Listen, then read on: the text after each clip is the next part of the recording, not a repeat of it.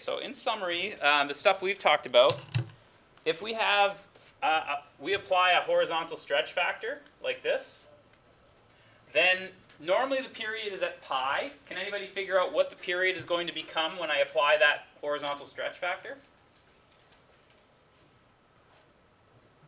You guys had your Wheaties this morning, eh? You're on fire. You guys know, you remember that commercial? Anybody know what I'm talking about? Oh, I guess I'm a little older than you. There used to be this thing where Michael Jordan was playing basketball and, and there was a little kid and, and the kid couldn't keep up to him and he used to say, better eat your Wheaties, and it was a little Wheaties commercial. So, anyways, um, so Alan, you want to tell us how you got, uh, or what you think that would be? Yeah, so the horizontal stretch factor in this case would be 1 over b. So if I multiply that on to the normal period, I would end up with pi over b. That's where it's changed. So there's goal number one. We can find the period without having to do the graph. Goal number two is we need to be able to locate asymptotes. So let's talk about that. Asymptotes of the tangent function. We just mentioned this. It's where cos x equals to 0 because if I divide it by 0, tangent can be written as sine over cosine. So cosine must have been 0. While we're on that note, let's fill in this one. Asymptote of the cotangent function are where what? Yeah, sine x equals to 0. Okay, so then it becomes, instead of asking the question like look on the graph for the asymptotes, we can say solve the equation cos x equals 0 or sine x equals 0. Okay, so what we may have to do though, if we were to use transformations, if we had cosine, uh, sorry, not cosine, if we had um, tangent of b I'll get it one of these tries. Just give me one more try there. Tangent of bx, there we go. Um, we'd be talking about cosine of bx equals to 0. And cotangent of bx, we'd be saying sine of bx equals to 0. So I'm going to show you some strategies now to figure out how it is that you do that transformation. How do you find the asymptotes if somebody squished them on you?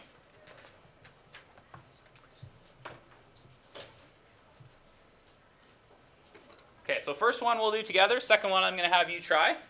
Okay, so first of all, what would the period be for graph number one, tangent of 1 half x? Uh, east side people. Let's see here. Dylan, I know you know this one. How did you get 2 pi so easily? Yeah, pi divided by a half. So that's going to be 2 pi. Again, the other way you can think of it, horizontal stretch factor here is 2. 2 times the normal period of pi gives me 2 pi. Okay, so now we need to find some asymptotes. So here's the way I like to do this. I go normally, and now. So what I'm going to do is I'm going to ignore the fact that there's a 1 half in there. I'm going to say, normally, I'd be looking for cos x equal to 0. Where would that happen? Can anybody give me one value where cos x equals 0? Sure, Jackie? Yeah, that's one place. Give me another one. Somebody else. Andy. Sorry? 3 pi over 2? Can we go one more? One more. One more, one more. Sure, Alice. Sure, 5 pi over 2 as well. Okay, so cos x equals to 0, most of you would probably at this point be thinking of using your unit circle. Here's where x equals to 0, right there, right there. So if you keep spinning around the unit circle, every time you hit one of those dots, you'll hit a 0 for cosine. Like pi over 2, 3 pi over 2, 5 pi over 2. Okay. The difference this time, though, is we've changed it slightly. It now has a... Um, it now has a 1 half in it.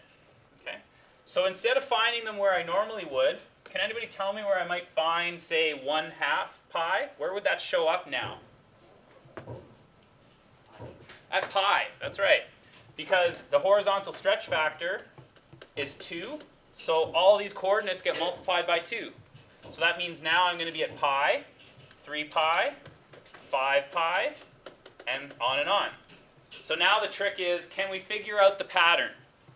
Okay, so I'm going to just give you a minute to think about that. What is the pattern for the general equation?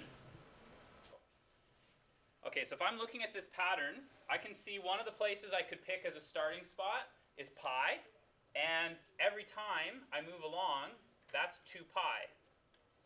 That's 2 pi.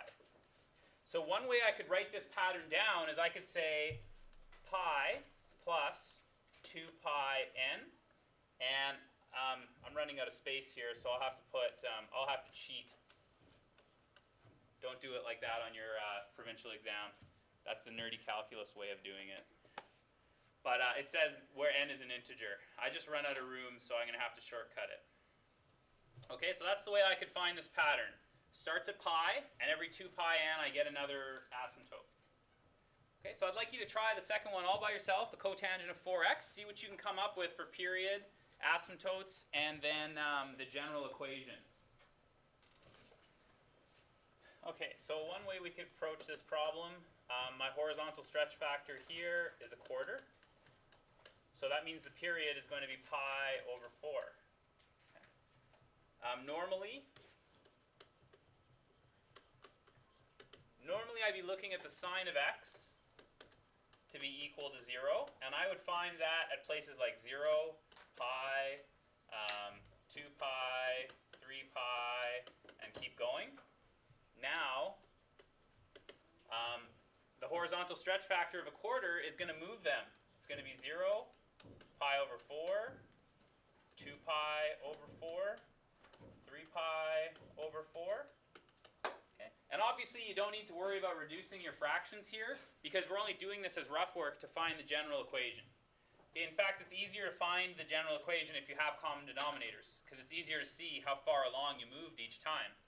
So for example, to get from 0 to pi over 4, I had to move by pi over 4. Okay. Then the next time, I also moved by pi over 4. Pi over 4. So, um, oops, you can log me off, that's fine. Um, so what I could rewrite this as is I could say, here's the first one, which is a 0, but it's not really significant to me, right? I, I don't need to write it down. Then it changes by adding um, pi over 4n, where n is an integer. Okay, so that would be the general uh, the general equation for the asymptotes. And again, we'll be practicing asymptotes or general equations quite a bit, so you will have a lot of time here to practice it before there's a quiz or anything else that shows up for it. Okay, so this time um, I will show you a nice picture because I know sometimes my artistic skills aren't the greatest. But um, we could do this if we forgot. Let me just remind you how we could do this um, if we all of a sudden blanked out. Okay, um, this is a reciprocal transformation. If we want to go from cosecant to the sine, we're talking about the reciprocal graph. So can anybody give me some handy tips for graphing the reciprocal? Kathy, how about you? Can you give me one real handy tip? How about this one? Totally forgot? It's when the subject is like the opposite, integer equals zero, it's not zero. Right, okay, so if it equals zero, which is also known as an x-intercept, right? If it touches the x-axis, that's where we'll find an asymptote on the uh, reciprocal graph. So here's where I'd find some reciprocal uh, asymptotes. Okay. Can anybody else think of another thing that might have been handy? Sure, go for it. Bigger the whole number, smaller the. Right. Big reciprocal, or sorry, big value, small reciprocal, small value, big reciprocal. Um, the other thing were the invariant points. So there's one, negative one. So those are the invariant points. This is a very small positive over here, so that means it's going to be a huge positive. And small positive becomes a huge positive again. So if I was to keep applying my reciprocal transformation, this is what I'd get. So again, um, we're just looking at the graph in red. The graph in red is cosecant. Can you see what the period of that graph is?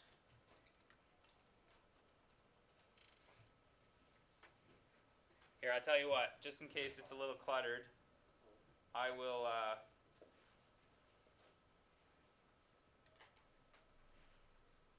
I will change this.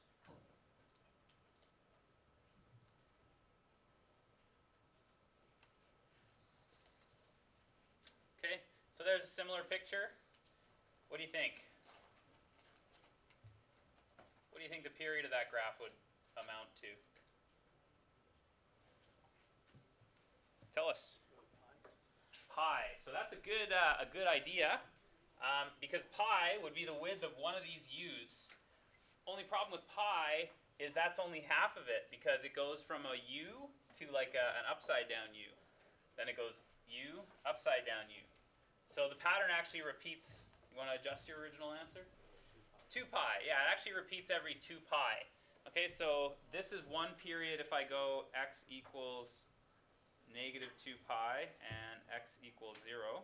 So those two black lines there, I know they're harder to see, but those two lines mark one of the periods of the graph.